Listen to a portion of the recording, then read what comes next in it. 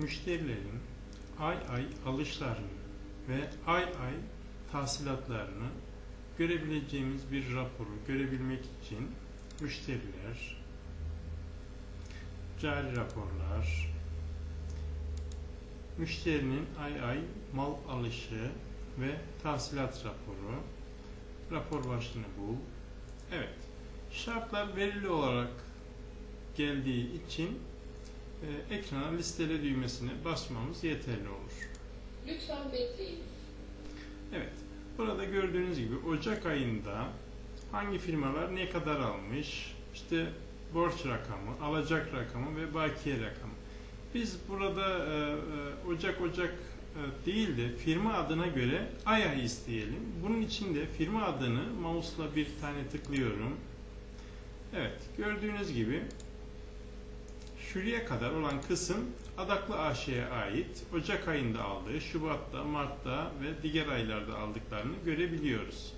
Şu şuradan itibaren, evet şuradan itibaren Adanalar başlıyor ve böyle gördüğünüz gibi öbür firmadan, diğer firmadan, öbüründen ay ay bize bütün e, raporu gösteriyor.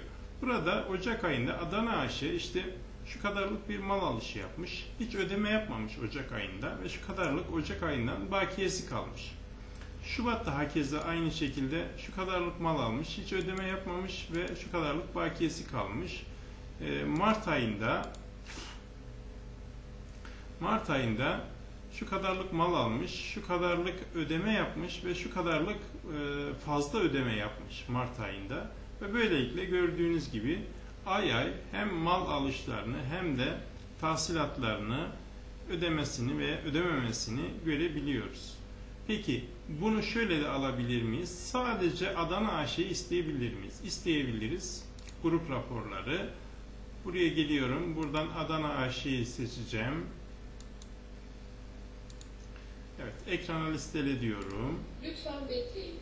Evet, gördüğünüz gibi sadece Adana AŞ'nin hesabını getirdi bana.